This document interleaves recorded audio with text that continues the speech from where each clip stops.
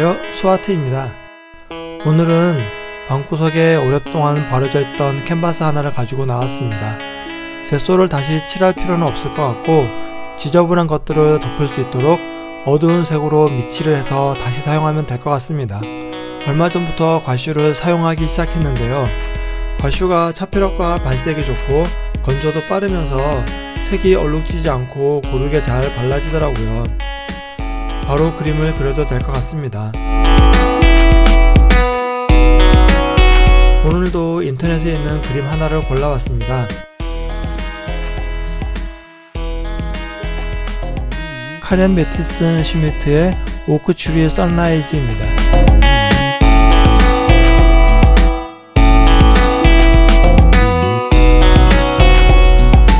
여러분 모두 2019년 한 해 동안 고생 많으셨습니다. 지난 1년은 어떻게 보냈는지 혼자 조용히 돌아보는 시간을 가져보는 것도 좋을 것 같습니다. 2020년에는 내 앞에 또 어떤 일들이 펼쳐질까요? 2020년 경자년은 육식갑자의 37번째 해로 힘이 아주 센 흰 쥐의 해라고 합니다.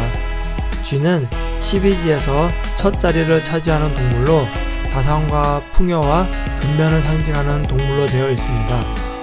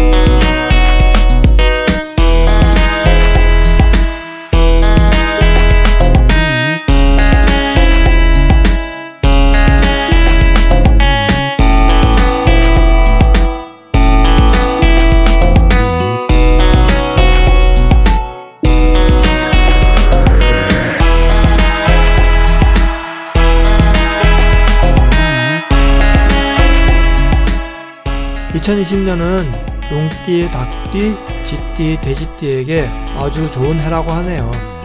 우선 용띠는 금전운과 사업운이 좋다고 합니다. 76년생과 64년생 용띠 분들은 마음먹은 대로 일이 잘 풀릴 것이라고 하네요. 닭띠는 문서운과 매매운이 좋다고 합니다. 집을 사거나 땅을 사거나 하기에 아주 좋은 해인 듯 합니다. 쥐띠는 식복이 좋아서 생각지 못했던 돈이 생기거나 덕을 볼 수 있는 그런 해라고 합니다. 마지막으로 돼지띠는 2019년에도 황금 돼지띠라고 좋은 해였다고 하는데요. 2020년에 돼지띠의 운세도 좋다고 합니다. 그동안 마음먹었던 일들이 술술 풀릴 테니 계획한 일이 있다면 준비를 하고 바로 실행해 보는 것도 좋다고 하네요.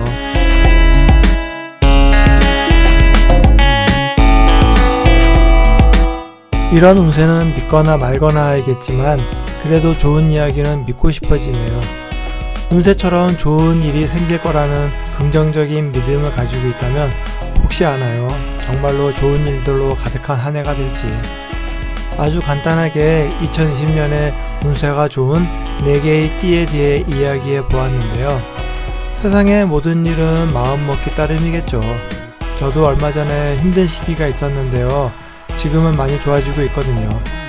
2020년에 흰지의 해에 모든 일들이 잘 풀리기를 바랍니다. 이제부터 음악과 함께 그림이 완성되어 가는 과정을 감상해 보시기 바랍니다. 중간에 딴 데 가기 없기.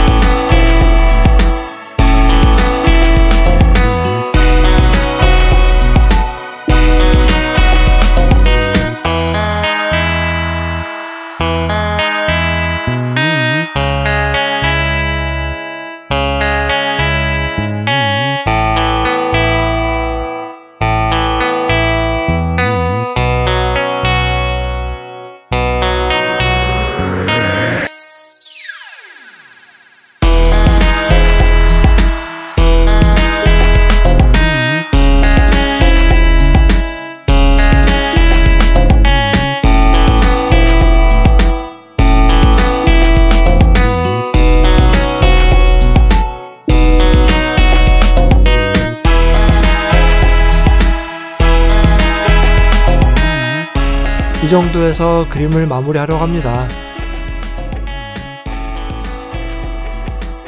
여러분 모두 2020년에는 행운과 평안이 가득하기를 기원하겠습니다. 지금까지 시청해주셔서 감사합니다.